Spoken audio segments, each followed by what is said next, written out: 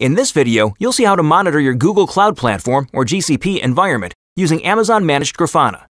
With this service, you can get a consolidated view of data, visualize metrics from your Google Cloud environment, and monitor the health and performance of applications. To get started, let's create an Amazon Managed Grafana workspace to visualize metrics from Google Cloud Monitoring. First, we'll give the workspace a name. On the second step, we'll retain the settings for authentication access and permission type. Note that AWS Single Sign-On or AWS SSO must be enabled. Next, we'll configure the IAM permission access settings to allow Grafana to monitor resources in our current account. We'll indicate the specific data sources we want Grafana to consume and visualize data from, and then specify the applicable notification channels. Now we'll review the settings and create the workspace. Once the workspace has been provisioned, we can assign users to it. By default, users will have viewer permissions. We'll make this user an admin. Now let's navigate to the Grafana workspace and start configuring the data source. We'll sign in using AWS SSO. Before adding Google Cloud Monitoring as a data source, the Amazon Managed Grafana workspace needs certain permissions to integrate with Google Cloud Monitoring and pull metrics. For the purposes of this demonstration, a virtual machine has already been created. This is the virtual machine that we'll monitor metrics for. Let's take a quick look. Here you can see the virtual machine is running. Next, let's ensure the Stackdriver Monitoring and Cloud Resource Manager APIs have been enabled.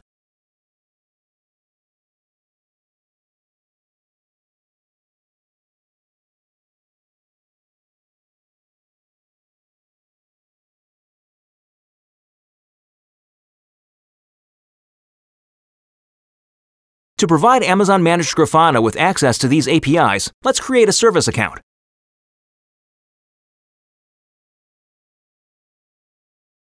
First, we'll provide a service account name. Next, let's assign the monitoring viewer role to the service account. To enable Amazon Managed Grafana to log into GCP, we'll create a new key. Let's download the key as a JSON file. We've now completed the prerequisites to allow Amazon Managed Grafana to connect to GCP. Let's return to the Grafana workspace and add Google Cloud Monitoring as the data source.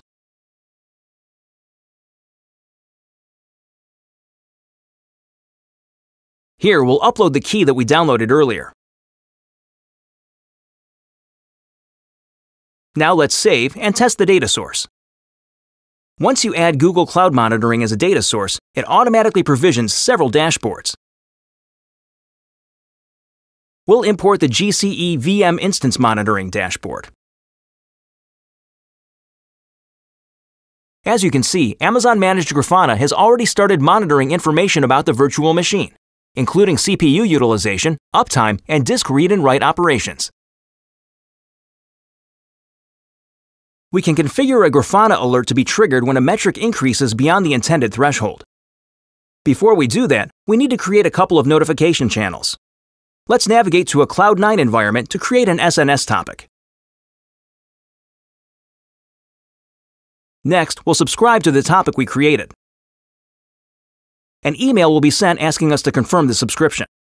For the purposes of this demonstration, we'll skip this step and move on with configuring the notification channels. Here we'll enter the notification channel details. Let's navigate to the Amazon SNS console to copy the ARN of our SNS topic.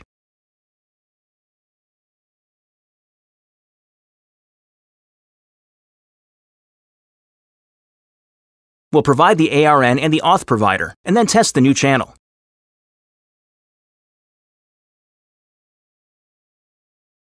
The test notification sent successfully, so we'll save the channel. Next, we'll create a Slack notification channel. In order to do this, we need to set up some prerequisites. First, we'll navigate to the Slack API and create a new app. We'll give the app a name and choose the workspace to develop our app in.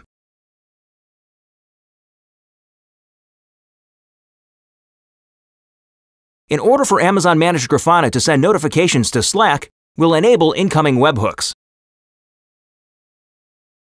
Now let's add a new webhook to the workspace. We'll select the channel where the notifications will be posted, and then allow the app to access the workspace. Let's copy the webhook URL that was generated, which we'll use later. Now let's return to the Grafana dashboard and create the new Slack notification channel.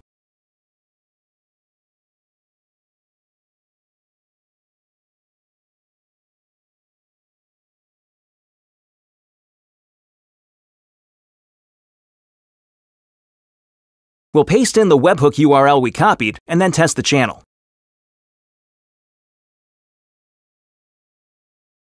The test notification appears in the Slack channel, indicating Amazon Managed Grafana successfully integrated with Slack.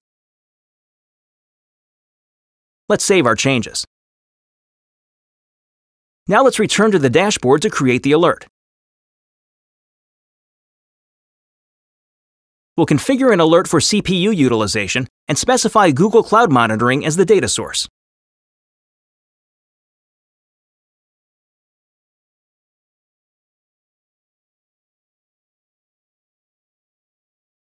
Next, we'll set the alignment period to 1 minute, and then create the alert.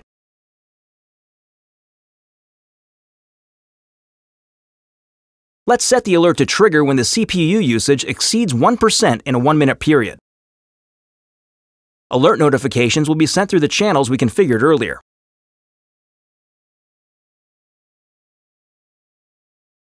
Let's add a notification message and then test the rule.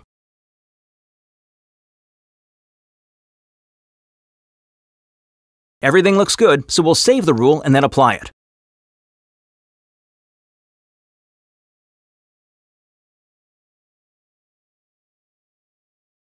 After refreshing the page, we can see that the alert has been configured and the status shows as healthy. Now let's add some load to the virtual machine so that we generate an alert.